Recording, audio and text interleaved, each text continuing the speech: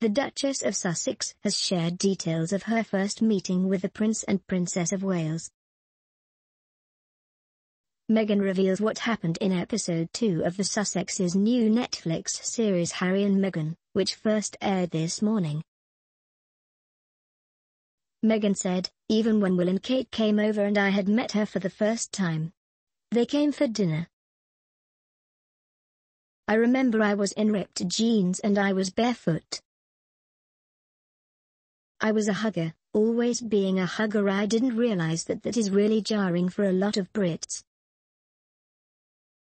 I guess I started to understand very quickly that the formality on the outside carried through on the inside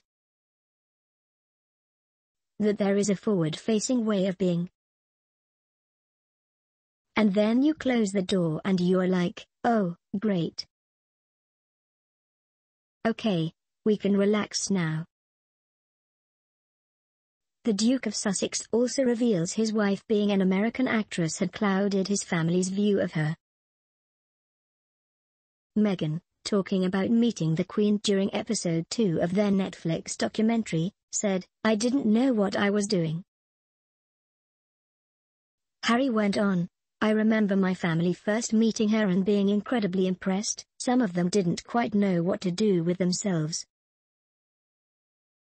Because I think they were surprised. They were surprised that a ginger could land such a beautiful woman and such an intelligent woman,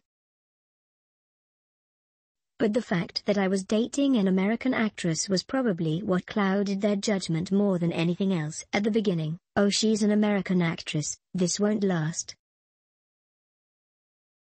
Meghan added, the actress thing was the biggest problem, funnily enough. There is a big idea of what that looks like from the UK's standpoint, Hollywood, and it's just very easy for them to typecast that. Read about a drug dealer's threat after ramming police cars in episode 2 of Harry and Meghan.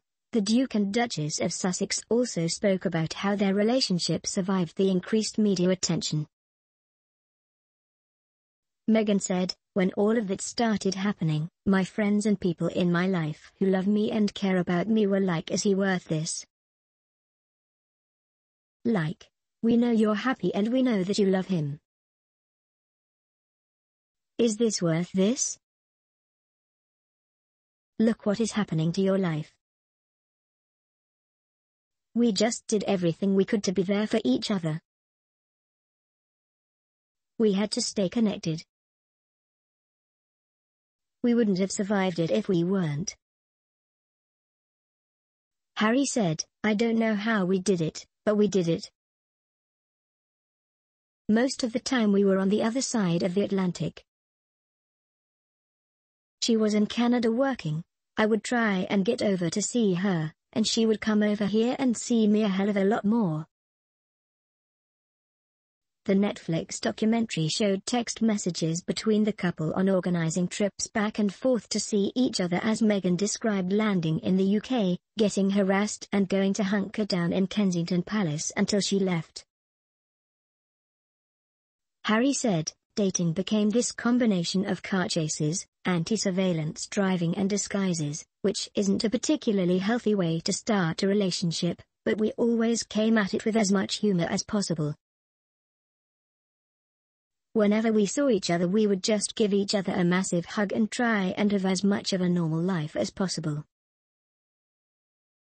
In the third episode, the Duchess of Sussex said she discovered her father Thomas Markle was not going to attend her wedding through a tabloid.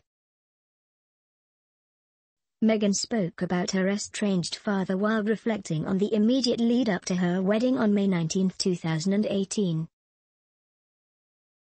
She said, the week before our wedding we get a call from our joint communications secretary who said this story is going to come out tomorrow saying your father has been